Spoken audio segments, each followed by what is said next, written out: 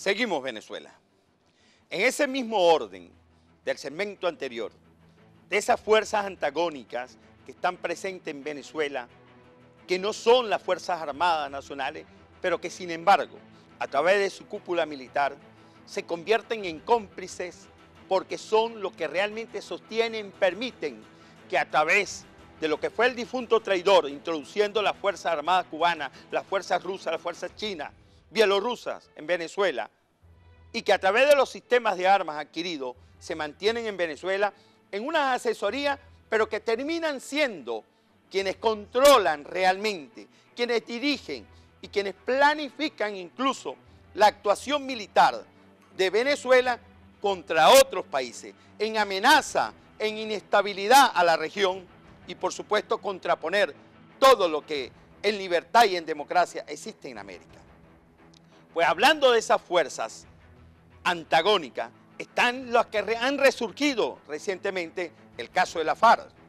Y veamos qué dijo el Mazolandro en relación a ello, que por supuesto hemos insistido, hemos mostrado claramente, y lo han dicho ellos desde que el difunto traidor le dio legitimidad a, a estos grupos guerrilleros, a estos grupos narcoterroristas del ELN, del Ejército de Liberación Nacional, de la Fuerza Armada Revolucionaria de Colombia, cuando a través del Parlamento, de la Asamblea Nacional, dijo que eran ejércitos legítimos que luchaban por Colombia o a favor del pueblo colombiano. Mentira, asesinos, terroristas.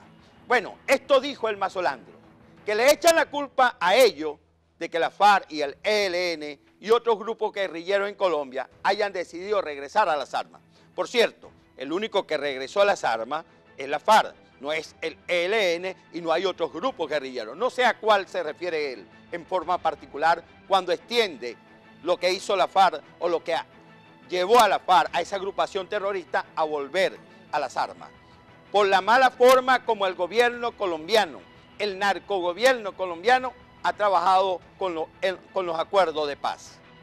Esto es lo que se refiere el Mazolandro en relación a todos los señalamientos que se ha venido dando internacionalmente desde Colombia, desde otros países, desde las Naciones Unidas, incluso algunos, eh, miembros han señalado la irregularidad de la, del resurgimiento de la FARC, de la OEA, de la Organización de Estados Americanos, de Estados Unidos, y particularmente dentro del país a través de un acuerdo que se logró esta semana en la Asamblea Nacional, único, presente en el país, institución legítima en los actuales momentos.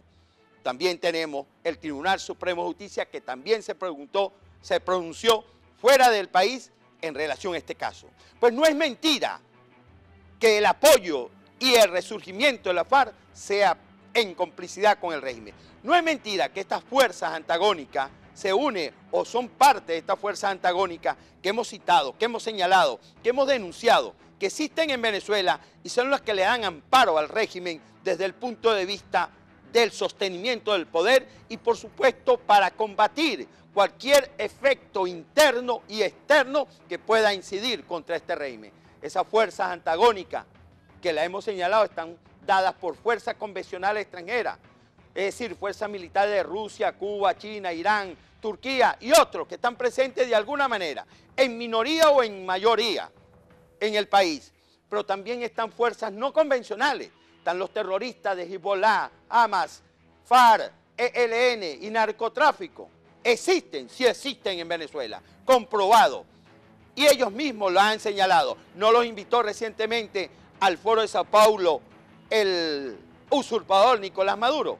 Pues esas fuerzas están allí y que en conjunto también con otras fuerzas internas, como son los colectivos, como son los planes, como son las bandas armadas que utilizan desde las cárceles para ir contra el pueblo, para ir a combatir precisamente a la propia población venezolana, esos están allí, son fuerzas antagónicas con las que se hace el régimen para poder sostener el poder y hacerse a cualquier intervención extranjera. No podemos caracterizarlos de una manera que sean subestimados. Están ahí, es una realidad. Y esta realidad obliga definitivamente a que una coalición internacional, a que las naciones del mundo, desde la OEA, desde las Naciones Unidas, se puedan conformar definitivamente para ayudar o para apoyar o para cooperar en la liberación de Venezuela. Esto no es mentira, esto es una realidad.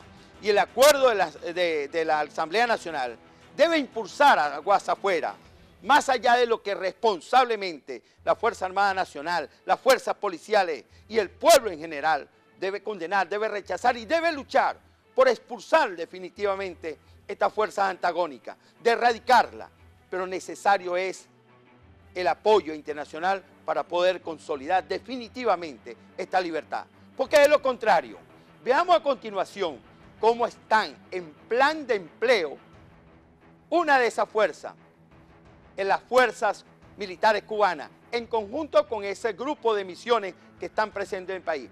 Esto es un ejercicio de un plan de empleo de las fuerzas militares cubanas en Venezuela, que caracterizan un enemigo a los Estados Unidos, a las instituciones del país y por supuesto a la población cuando salen acciones de protesta. Estas situaciones excepcionales que citan este plan cubano y que lo mantienen esta distribución a nivel nacional. Ahí vemos ocho banderas rojas. Eso muestra la ubicación de las unidades, puestos de direcciones del GRUCE, del Grupo de Cooperación y Enlace, que es la unidad que desde La Habana se dirige para actuar en Venezuela en caso de estas situaciones excepcionales.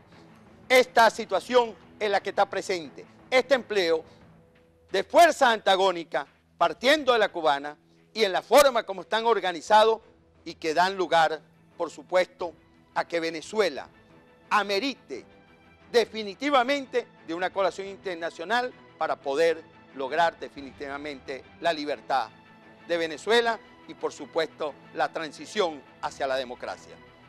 Vamos Venezuela, no podemos fallar, no podemos dejar a nuestra historia con este pesado régimen tiránico definitivamente con mayor tiempo.